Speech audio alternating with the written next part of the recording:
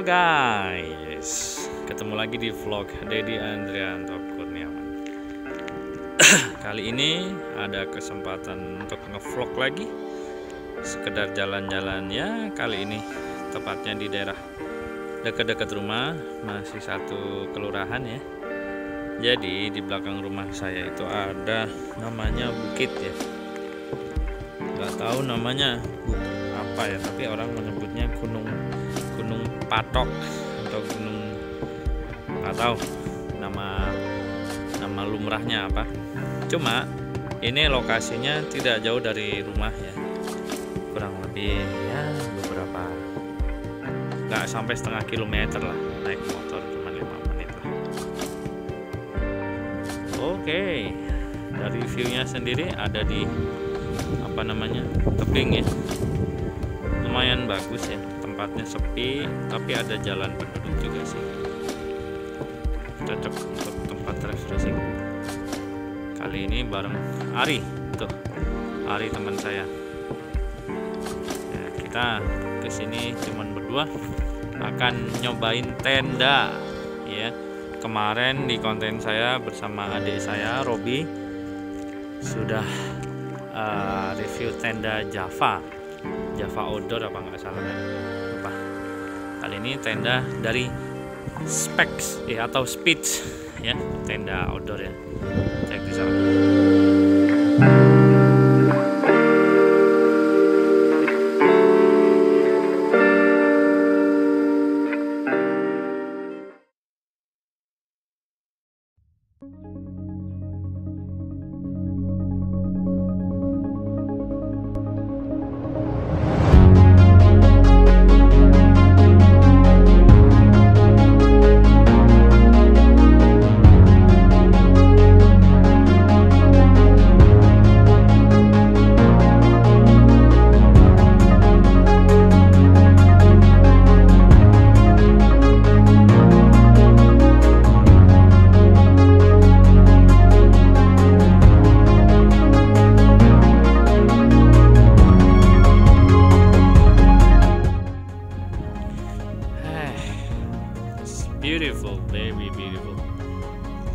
lagi ada di mana namanya?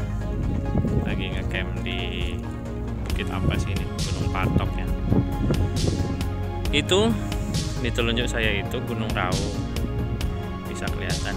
Yang di situ itu Gunung Ijen. Gunung Ijen berdiri cantik ya. Eh, apa nggak kebalik ya? Itu Gunung Ijen. Itu Gunung Suket. Pokoknya di situ ada beberapa gunung. Di situ ada itu gunung misterius itu yang sebelahnya gunung yang aku bilang Ijen itu hanya itu hanya terlihat pada momen tertentu misalnya ketika nggak ada awan. Kalau mendung dia seolah-olah nggak ada gunung.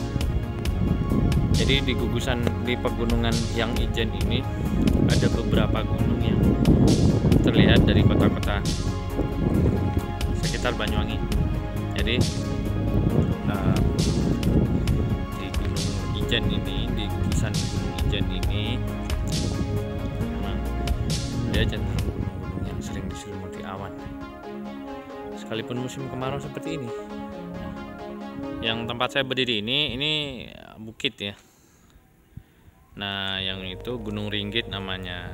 Gunung Ringgit. Nah, Gunung Ringgit ini ketinggiannya sekitar 1000 lah. Nggak sampai 1000 sekitar 1200 ya ya 1200 tapi dia merupakan gunung tertinggi di Kabupaten Situbondo.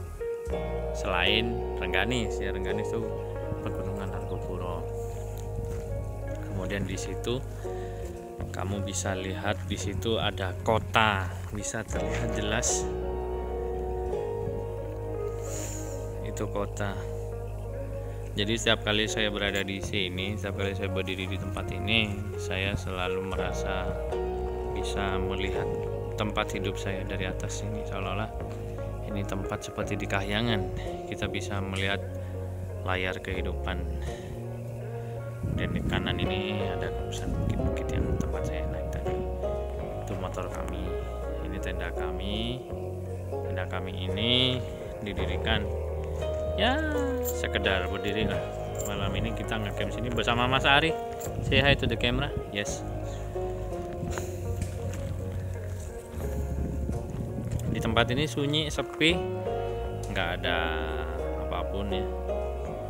Tidak ada aktivitas kehidupan manusia tidak ada tanda-tanda gitu. Oke di perbukitan ini ini bukit yang konon apa ya tidak dihuni ya tidak ada penduduk di sini. Pemukiman terdekat jaraknya kurang lebih 2 atau 3 km di bawah sana di sini ada bebatuan yang ini. Bebatuan ini. Batu gamping ya. Batu gamping ini. Konon umurnya ini ribuan tahun ya. Dia sejak zaman purba dari endapan-endapan nah ini. Dari endapan-endapan atau kars pegunungan kars dia. Apa namanya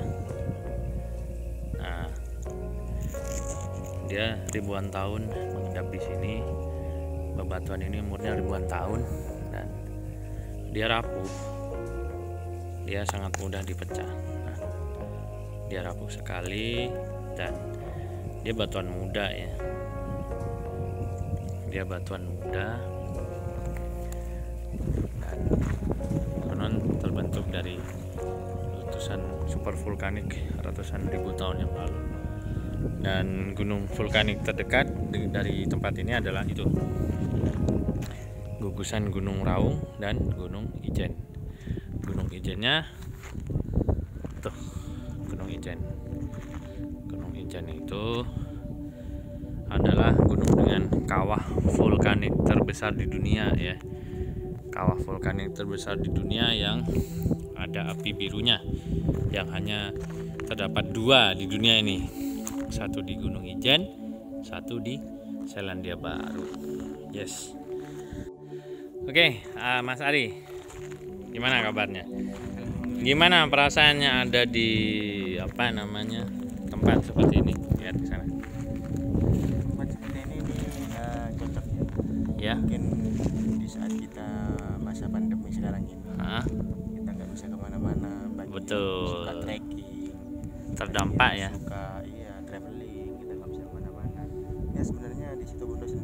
ha. Tempat yang bagus. Agak keras Ari tempat yang bagus yang cocok untuk uh, membuat mengobati rasa rindu kita kepada alam. Begitu.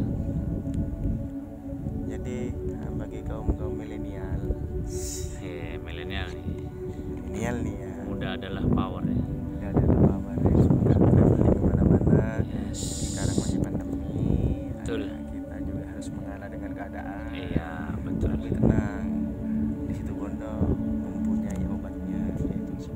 nggak usah jauh-jauh ya. Nggak usah jauh-jauh. Di kota sendiri. Betul aman.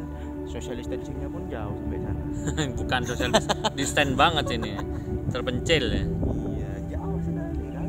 Yes yes. Protokol kesehatan nggak perlu udara bebas. Bebas. Eh tapi kalau di kota tetap pakai masker. Masker dong. Protokol kesehatan maskernya ada ya? Ada. Maskernya ada. Beli harga sepuluh ribu sekarang kok. Punya saya 6000 mas Ari enam ribu yang pakai kain ya iya. Mulai saya sekali bu. Oh, Sultan. Sultan saya Tony Rojib. Ya gitu dulu ya. Ah, saya mau lanjut gimana kesan dengan tempat ini mas Ari? Suka?